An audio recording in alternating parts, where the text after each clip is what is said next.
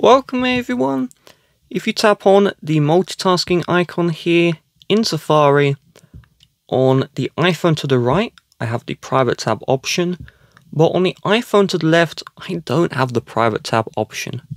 So let's troubleshoot. The first thing is we're going to open up the settings, and what you're looking for is screen time. And if screen time is on, if restrictions are on, then the private tab is going to be disabled. So, what can we do? Well, if there is a turn off screen time option at the bottom, turn off screen time, enter the passcode, but I don't have this option and I don't know the passcode. Well, not to worry. If you're in this situation, they call me Saunders Tech because I bypass everything. I'm going to have a tutorial on how to remove screen time, even if you forgot the passcode any description. No data loss, your phone will be literally the same. The only difference is screen time will be removed. So if you want to watch that, I'll have the guide in the description. Now, if screen time is off and you know you still don't see the private tab here, then we're going to go into general. If you see no screen time at all in the homepage of settings, you may see a restrictions tab in the general of settings. Very old software will only see that. So just tap on restrictions and turn that one off.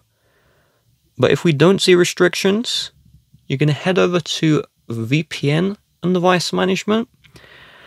And most likely, you're going to see a mobile device management and you have an MDM on your iPhone.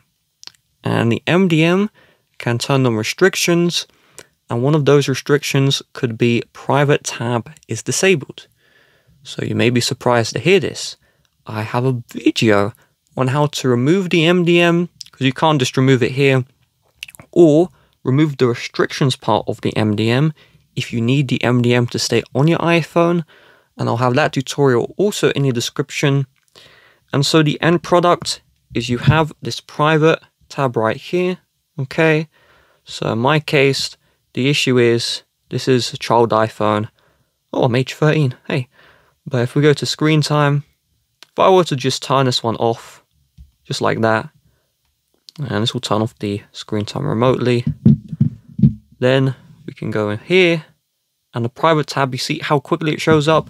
So it is either the screen time restrictions on your device or the MDM restrictions, which is showing the problem. So with that being said, if you'd like to help support the channel, please do check the description. Make sure to watch the videos in the description to remove screen time or the MDM.